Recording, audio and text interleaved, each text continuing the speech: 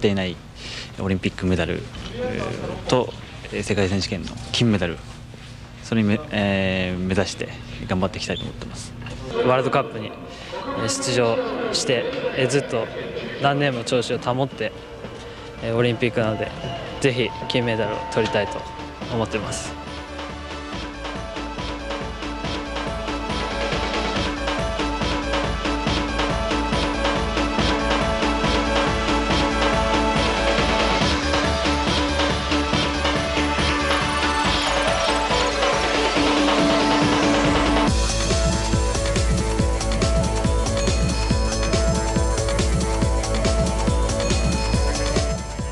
放送はエンパワードバイイノベーション NEC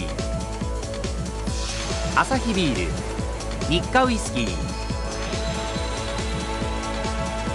日清食品トヨタ自動車。雪印乳業とご覧のスポンサーの提供でお送りします。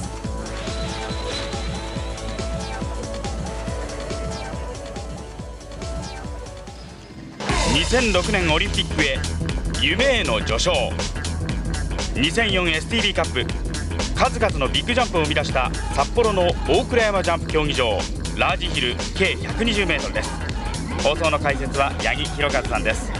八木さんよろしくお願いします、はい、よろしくお願いします。八木さんは今日の注目選手、はい、どんなところに目をつけてらっしゃいますか？これはズバリ、はい、笠井紀明君。あそうですか。これしかないでしょう。昨日凱旋優勝しました、葛西なんですが。もう力の差をまざまざと見せつけられました。はい、えー、素晴らしいジャンプに大いに大倉山が湧いたんですが今日も連勝となるのか。そしてこの葛西を脅かす存在といいますと、はい、えー、今後のことも含めてですね、はい、僕の希望を込めて、伊藤大輝君。ああ高校3年生の伊藤大輝ですか、これはもう本当に日本のチームとしてもですね、絶対、えー、世界に出てくると思います、あそうですか、さあそれではその試合前の様子を聞いてみましょう。宮永さん内山さん。はいこんにちはいや興奮しますね、ね今日はですねお客さんはもちろん選手もビッグジャンプを見せようと気合十分なんですよ、はい、え今ちょうどですね選手が試合前の練習をやってるんですけれども原田選手宮平選手そして葛西選手若手の伊藤大金選手もう気合十分ですよ。そしてね会場のお客さんも札幌はもとより北海道中からたくさんの方が来てくださいました。え今日は私は選手の表情をお伝えいたします。そして私は場内アナウンスで盛り上げたいと思います。頑張れ日本はもちろん中高生の若手の選手を応援していきます。どうぞよろしくお願いいたします。頑張れ。日本。ああ何か場内のボルテージもぐっと上がってきたようなそんな感じです。さて今回はジャンプ中継で初めての試みとしましてこのような映像をご覧いただきます。テイクオフ直後の瞬間を8台のカメラにより立体的に捉えます。見ている方には映画「マトリックス」のような臨場感を味わっていただけます八木さん、このカメラはいかがですか、はいあのー、ジャンプのですね、はい、テイクオフの動作は0.5秒にも満たない速さで行われていると言われてるんですが、えーはい、それをも捉えてしまうという素晴らしいカメラですね、これ。そうですか、はい、ちょっとテレビをご覧の皆さんには今まで見たことのないような角度からジャンプを、あのー、新しい映像が、はい、見ていただけるかと思いますね。空への夢どんなビッグフライトが出るか。1回目の競技からご覧ください。札幌藤野中学2年生の栃本翔平。若手20歳の高野哲平。1回目です。昨日1回目で 135m の最長不倒をマークしました。さあどうだ？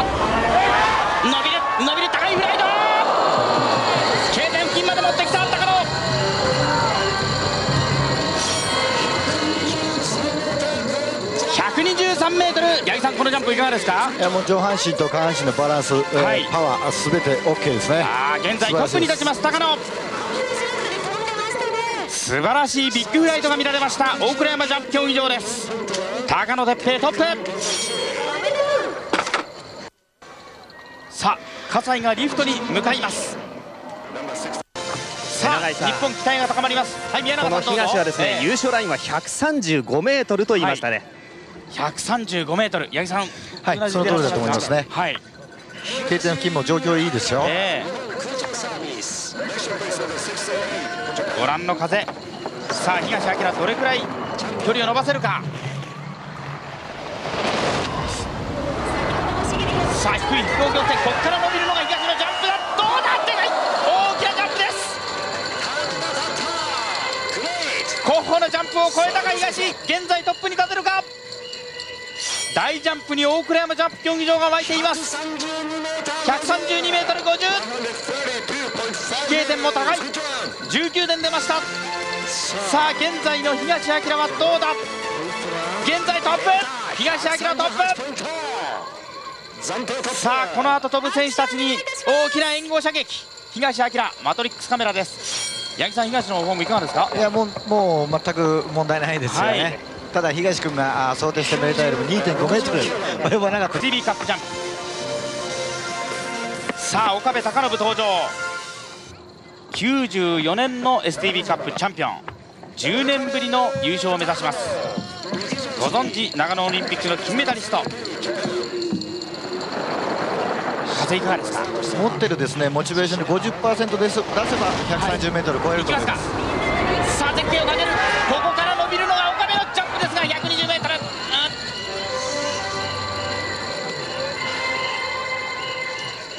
かがですか？テイクオフがですね、えー、岡部君特有のですね速いテイクオフ強いテイクオフじゃなくて早く完了するというテイクオフがですね、少し上半身が若干ですけれども、はい、少しスキーから離れるというね上向き方向にちょっとほんのちょっとなんですけどね、はい、この部分だけですね後半の 10m 影響しました。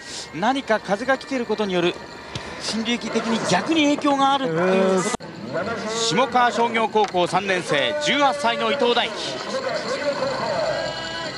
コンチネンタルカップ優勝について須田コーチは彼の今の力ならばいつかは勝てると思っていたと話しています。K 点付近の風がありません。どうだ伊藤？その風を受けるが 120m 超えた。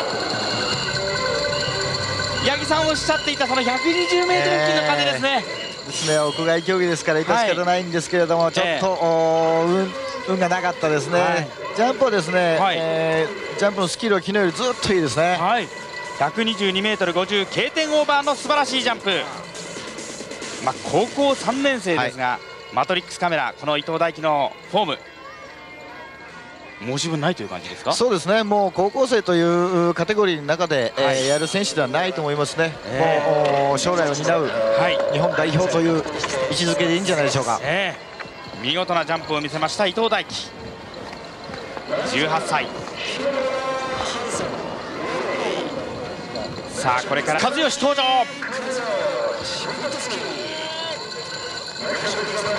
日本帰国これが初戦になります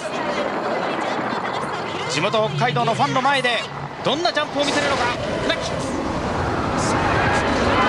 と前傾をかけていく。大きなジャンプだやった大ジャンプだ船木ガッツポーズ！大倉山に大大歓声がこだまします。141m バッケンレコード。果たしてどうか？船木船木和義のビッグライト。大倉山がどよめいた 139m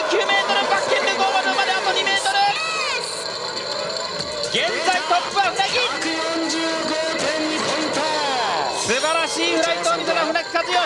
現在トップ八木さんはいでも船木の表情があまり冴えないんですけどどうなんですか？あのジャンプとしては完璧じゃないんでしょうけれども、はい、あの K 点付近の風がですね1.8メートル、今までの選手の中で一番いい状況でしたよ。そうだったんですね、はい、さあ続いての日本宮平。この後は葛西と続きます。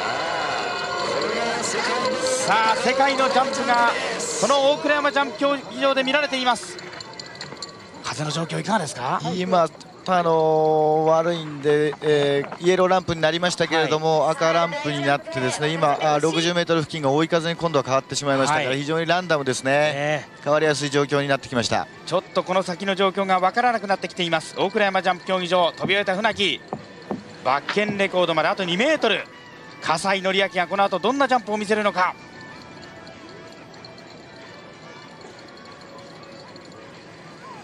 今シーズンワールドカップを転戦してきてさあ日本に帰ってきて宮平が。今日は STB カップ。この大舞台でどんなジャンプを見せるんでしょうか。宮平は去年の STB カップで初優勝。バッケンレコードまであと 1.5m の大ジャンプを見せましたのが去年のことでした。1回目。さあどうだ。かけていきますがあっと歓声がため息に変わった大倉山。宮平は船木のジャンプそして K 点 120m までも及ばない。109m50 やや残念なジャンプに終わりました宮平秀治です。現在34位。さあいよいよ葛西登場。15年ぶりの STB カップ制覇を目指します。葛西紀明。かつて89年高校1年生で史上最年少の STB カップ制覇を果たしました。15年ぶり2度目の優勝を狙っています。その自信はありますときっぱりと言い切りました。さあ風が吹いてきた。小雪も待ってきた大倉山。葛西の1回目。どんなジャンプ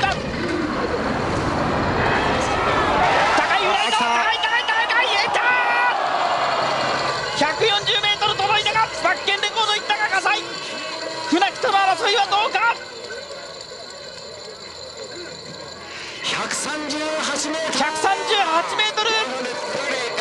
さあ上位の争いどうだ？飛型点はいい。ポイントがポイントが出てどうでしょう？現在トップ。葛西がトップ。2位が船木。3位が東いやすごい強い日本勢。あありがとうございますえー、ジャンプ連発でバスケまであと少しでしたね。えー、もうあの下の差が見えててあれは絶対越してやろうと思ったんですけどもうちょっと足りなかったですねじゃあ次2回目。はい。2回目もいい風をもらって、えー、バッケンレコード狙いたいと思います。しかも船木さんとの勝負になります。はい。頑張ります。葛西さん、はい。葛西の素晴らしいジャンプが見られました。2004STB カップ1回目の順位です葛西船木の争い2回目も注目です。そして若手高校3年生伊藤大輝は12位につけているということです。さてその葛西のビッグフライトを振り返ってみましょう。138m のジャンプを1回目見せました葛西ですが八木さんいかがですか？いやもう私が解説する以上にですね素晴らしいジャンプですよ、もう100点満点でしょうね。何か他の選手とは別のところの角度から飛び出して飛んでいるというような感じですよね。K 点付近そんなにいい状況じゃなかったですけれども、はい、もうここからですね、ええ。ここまで速いですね。もう完璧なスタイルですから、えここからあ空中は全く微動だにしない。そうですね。ましてやあジュリーディスタンスである138メートルまで行って、ランディングですから文句のつけようがないです。でこのジャンプマトリックスカメラはこう捉えました、あやはり飛んでいるところが普通の選手のポジションより上、はい、ここまででですね、はい。20メートル進んでるか進んでないかぐらいですから、はい。それでもう空中姿勢に入ってますからね。もうここでできているということですね、さあ変わって139メートルを飛んだ船木船木選手はあの自分のコメントにもあった通りですね、ええ。50メートル付近までで、えー風をと捉えられれば、はい。130メートルをクリアできるというええ。状況も良かったですけれども、お少し回復の兆しが見えてきたんじゃないですか？あそうですか、はい、この空中姿勢です、まあ、今シーズンはまだワールドカップでシングルがありません。不振も伝えられていた船木なんですが、はい、これで、えーきっかけをつかんでほしいですね。そうですね、はいえー地元北海道に帰ってきてそのファンの大声援を受けてのジャンプでした。さあマトリックスカメラでは船木のジャンプこうです。葛西との比較ではどうですか？あのここまではですね、ええ。船木君らしい、えー下半身、上半身のたわみというものがあるんですけれども、ええ。お下から風を受けてですね空中に出た場合に、はい。少しえー腰のお位置がですね、はい。前方向に動いてしまうために少しえー反ってしまうような状況になってしまうんですね。はい。そのことが原因で、えーランディング動作をお円滑に行えないという状況が出てきますね。これがポイントの差となって現れた、ねということですね、永井さん、はい。えーその船木選手ですが1回目は風をうまく捉えられた、はい。えー2回目も風が必ず吹くはずですと、ええ。ただジャンプとしてはまだまだ満足レベルできるレベルにはありませんということでしたね。あそうですか。はい、えー飛型点が勝敗のあやになってきています。この1回目なんですが2回目どうなっていくんでしょう。さあこの大倉山ジャンプ競技場141メートル原田雅彦の持つバッケンレコードここまであと2メートルと迫ったのが船木のジャンプでした。八木さん2回目どうですか？ぜひともですね、はい。今日はあの僕の願望も含めてですね、えシャンツレコード、バッケンレコードを更新してほしいなと思いますね。歴史的瞬間がこの後見られるかもしれません。大倉山ジャンプ競技場 STB カップは2回目に入ります。さあチームジャパンのリーダー原田雅彦登場。自分のジャンプをすることが今大切という原田の2回目さあどうだ前傾かけるかける持っていきました。あ超えた。すごい。40超えた。バッケンレコードだ。すごい。ましたスーパーフライト。どうでした？どんな気分です？なまら気持ちよかったべやうん。組織会議の結果が出ましたのでお知らせをいたします。本日の競技は1回目の成績ちましてえ成立といたしましてえこれをもちまして競技終了とさせていただきます。さて場内アナウンスがありました大倉山ジャンプ競技場。2回目の競技を前に急激に雪と風が強くなり競技を続けるには難しい状況になってきました。八木さん、はい、競技のジャンプこういうところがあるんですね、えー、あの誰も予想してませんでしたから今日は非常に素晴らしい天候だっただけにですね、はい、ちょっと残念ですけれども、えー、競技を続行するのにはですねちょっとし,、えー、しんどいかなという感じですね、ね、はい、え選手や多くの観衆が2回目の競技を待ちましたがお聞きのように結局キャンセル。STB カップの結果改めてお伝えします。優勝は葛西紀明。飛型点も素晴らしいジャンプでした。2位に最長不倒バッケンレコードまであと2メートルと迫った船木12位に伊藤大輝今後の世界舞台での活躍も楽しみです。18位に若手の山田裕樹が入りました。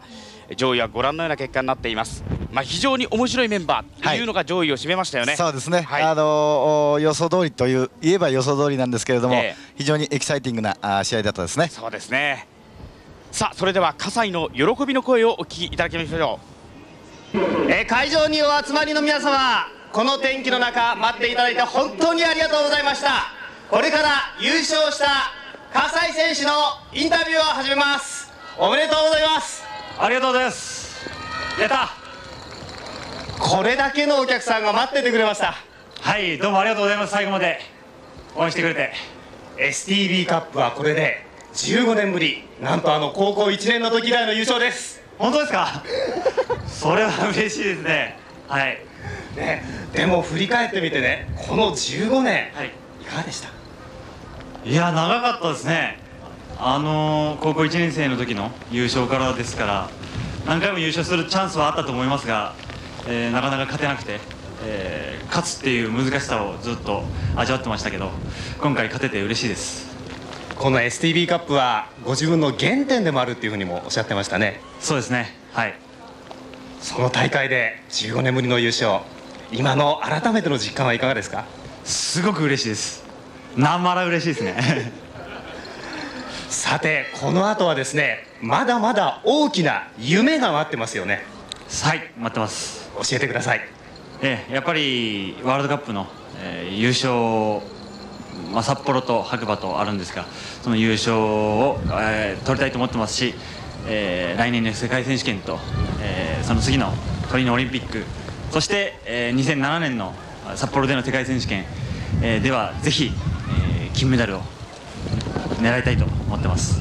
特にそのオリンピックあるいは世界選手権でのメダルっていうことへの思いっていうのも深いものがあるんじゃないですか？ありますね、えー、取れそうで取れなかったっていう、えー、今までのシーズンだったんですけど、えー、